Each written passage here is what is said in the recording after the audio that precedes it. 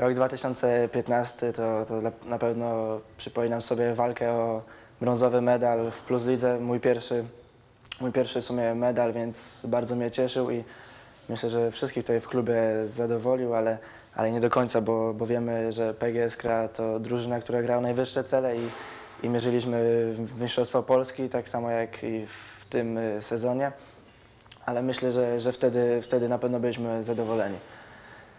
Na pozycji, na pozycji byłem wtedy z Ferdynandem Tilley i pierwszy sezon bardzo mi pomógł i cieszę się, że właśnie, właśnie z nim miałem przyjemność pracować y, w PGS Krzebeł Chatów. Tutaj rozgrywaliśmy turniej kwalifikacyjny do Mistrzostw Świata, w którym awansowaliśmy i, i również y, byliśmy bardzo zadowoleni, bo to był nasz cel. Na, na same Mistrzostwa Świata niestety nie pojechałem, pracowałem z drużyną cały okres przygotowawczy do, do tego turnieju, ale na sam koniec wyeliminowała mnie kontuzja. Nie wiem, czy, czy gdybym nie, nie załapał, to czy bym się dostał do składu, ale, ale na pewno teraz nie miałem szansy, szansy w ogóle rywalizować. Następnie miałem y, krótkie wakacje, na których odpocząłem i naładowałem akumulatory na, na sezon. Mam nadzieję, że, że wystarczy do samego końca.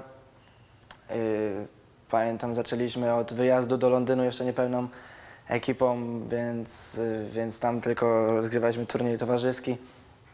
Później wróciliśmy, mieliśmy spotkanie z kibicami, co bardzo nas cieszyło, bo, bo wiemy, jak ważne jest ich wsparcie, czy na, na, na dobre, czy na złe. Zawsze wiemy, że możemy na nich liczyć. A później zaczęliśmy już sezon i, i w, tym sezo- w, tym, w tym sezonie będę, nie mówię, że rywalizował, ale współpracował z Robertem Milczarkiem.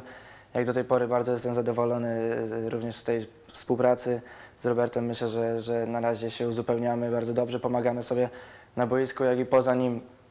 Y, Więc mam nadzieję, że, że na pozycji libero spełnimy oczekiwania klubu. Podsumowując ten rok, na pewno myślę, że był dla mnie dużym wyzwaniem, bo, bo gra w PGS Bełchatów, tak to mogę nazwać, ale myślę, że, że też miałem trochę tych kontuzji i to, co nie było miłe, bo, bo tak jak powiedziałem, nie mogłem pojechać na, na Mistrzostwa Świata Juniorów, a wiemy, że to mój ostatni turniej w tej kategorii. Na nowy rok na pewno życzyłbym sobie, jak i całej drużynie zdrowia i, i samych sukcesów. Tak jak powiedziałem, PGS Skra- mierzy bardzo wysoko, więc y, jeżeli będzie zdrowie, mam nadzieję, że, że spełnimy, spełnimy oczekiwania klubu, kibiców i wszystkich naszych sympatyków.